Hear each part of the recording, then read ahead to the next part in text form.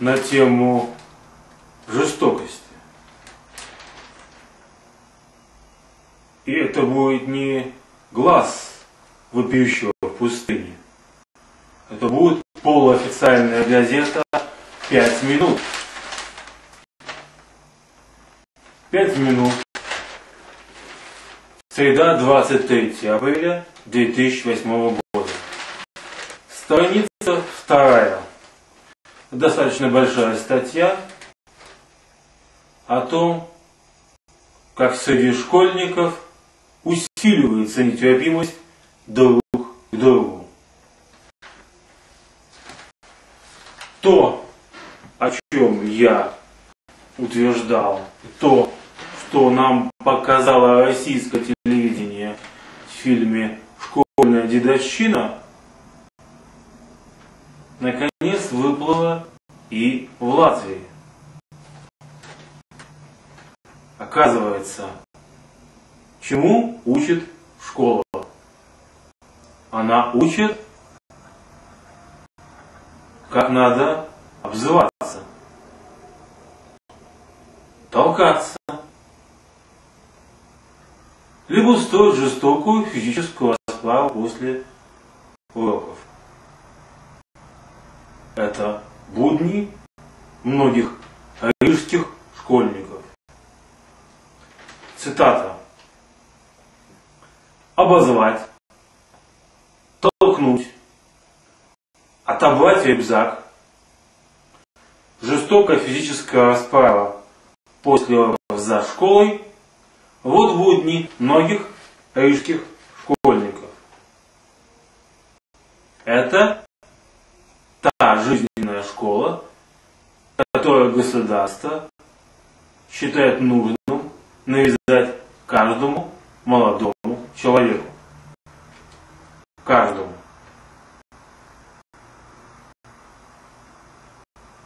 В Латвии сейчас создано так называемое общество Брифпатига СЛВ. И представитель правления этого общества Илза Гринтала с умным видом заявила агентству Лето, что именно школа – первая общественная среда, в которой дети должны учиться жить. Вот такая конструкция. Они должны. Почему должны? Почему ребенок обязан ходить в школу? Сказал, что это его долг? Почему в школу, как в тюрьму, ребенок должен идти? Когда преступник попадает на скамью подсудимых, ему за какие-то преступления присуждается срок, что он должен отсидеть в тюрьме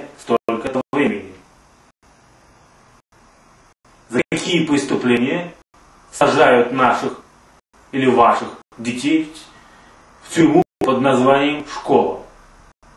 Что они такого натворили? Что их надо поместить в клетку и по удару гонга заставлять из одной клетки переходить в другую клетку. Школа является тюрьмой. И настолько это однозначно, что вы можете увидеть очень простые параллели между школьной администрацией и тюремной администрацией. И там, и там они командуют и имеют штат надзирателей за подопытными кроликами. Чье время расписано по минутам, и если те подопытные кролики нарушают правила внутреннего распорядка, их наказывают. И избежать этого наказания и самого присутствия в этом тюремном заведении у них нет совершенно никакой никакой возможности. Здесь маленькая статистика есть. А, был так называемый, точнее есть телефон доверия инспекции по защите прав детей. И представьте себе, что за 365 дней в году было более 22 тысяч звонков. Не 700, то есть два звонка в день. Не 7 тысяч, то есть 20 звонков, 22 тысячи звонков. И представьте себе, на телефонном аппарате сидит девочка, психолог, закончила вуз.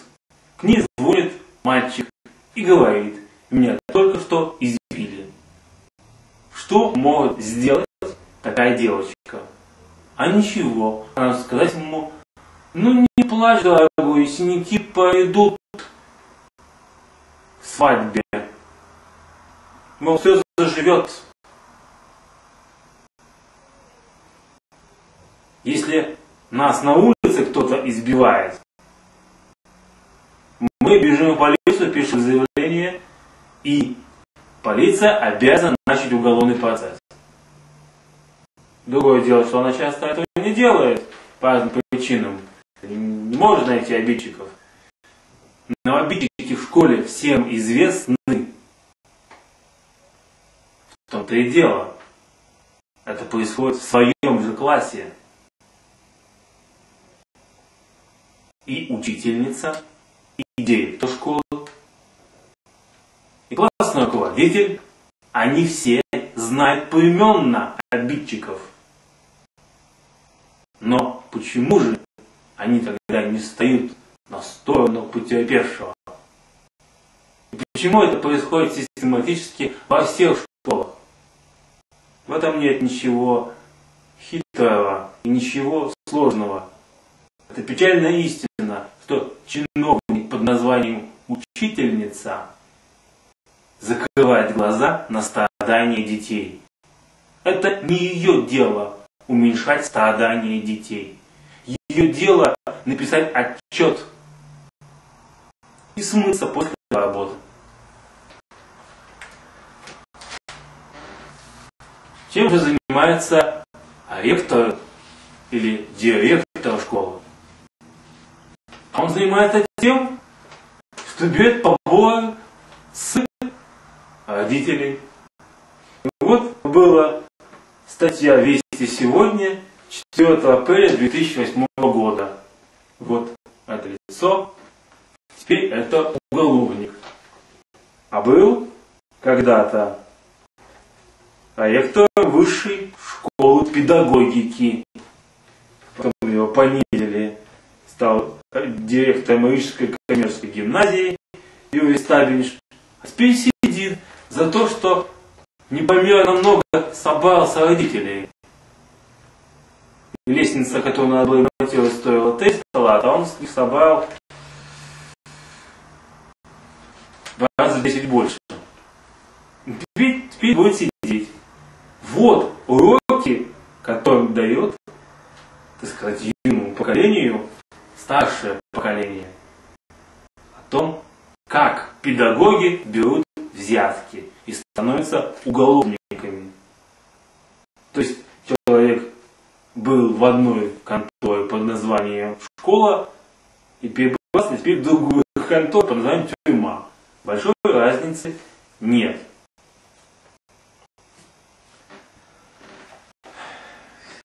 К сожалению, к сожалению, ситуация типична.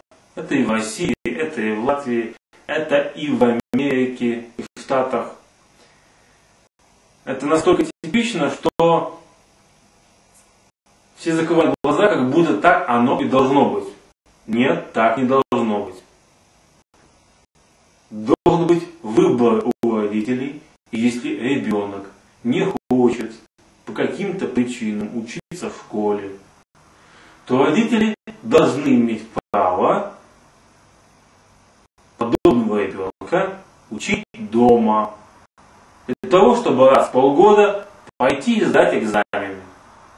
И все. И таким образом от государства получить корочку, то, что он закончил, получил аттестат о среднем образовании. нет ничего хитрого, ничего умного. 111 лет назад царской империи, якобы душительница всего и всяческого прогрессивного, были приняты такие правила для гимназистов. Гимназисты многие, очень многие, учились дома, только раз в полгода или раз в год приходили на экзамены. И ничего страшного не было. И выучивались. А теперь я вам напомню одну достаточно грустную исповедь школьного учителя. Джон Тейлор Гато написал эту книжку в 92 году в Штатах. До нас она дошла не так давно, в 2006 году, совсем чуть-чуть. Но актуальность ее никуда не потерялась, потому что школа как была тюрьмой, так и осталась. И никто даже не помышляет, что школы это анахронизм, это дебилизм, это никому не нужный инструмент подавления и любознательности, и свободомыслия детей, и просто-напросто чувство собственного достоинства. То есть школа является инструментом насилия над ребенком. Вот что говорит Гато на странице 51. Я хочу рассказать вам, как влияет на наших детей тот факт, что у них отбирают все время. Время, которое им требуется, чтобы взрослеть. И заставляют тратить его на абстракции. Ну, я вспоминаю сам о синусах, косинусах. Зачем их надо было знать? Если взял, открыл справочник и посчитал перед компьютером. Вообще, это бестолковые часы, выкинутые непонятно на что, синусы да косинусы. И это при том, что я люблю математику. У меня было пятерка по математике. Я лучше всех решал задачи по математике. Итак, вам необходимо это услышать, говорит Гато. Детям, которых я учу, безразличен мир взрослых. Пункт второй. Дети, которых я учу, не проявляют почти никакой любознательности. Пункт третий. У детей, которых я учу, очень слабое представление о будущем.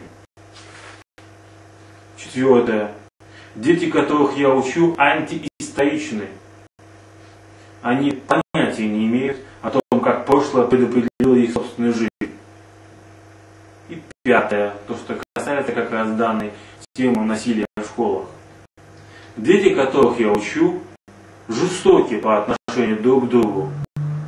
Им не достается страдания, они смеются над проявлениями слабости, они презирают людей, чья потребность помощи появляется слишком очевидно.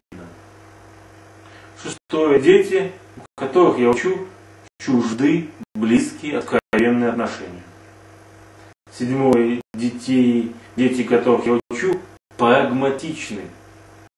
Они подражают учителям, оценивающим все количественно. И телевизионным наставникам, предлагающим на продажу все на свете. И восьмой пункт. Дети, которых я учу, зависимы, пассивны и робки перед лицом неизвестности. Вот плоды образования. Вот сумерки просвещения. Есть, конечно, более страшные выводы. Это и это и ранняя преступность, когда сбиваются в банды, это и самоубийство, когда ребенок не видит смысла в жизни. Но об этом в следующий раз.